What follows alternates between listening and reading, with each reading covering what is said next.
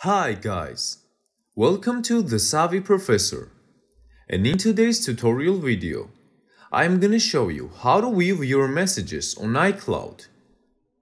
If you want to read your messages into someone's phone, you have to make sure that you have message backup enabled in your iCloud.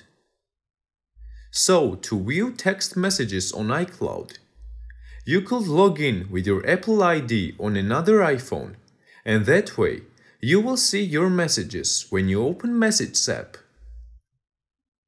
To check whether you have backup enabled or not, open Settings on your iPhone.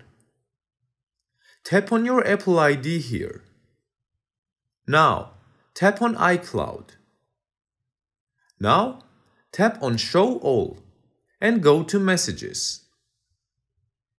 Make sure that Message app is enabled, so that way you will have your messages synced with your iCloud, so you can open your messages in another phone's iCloud.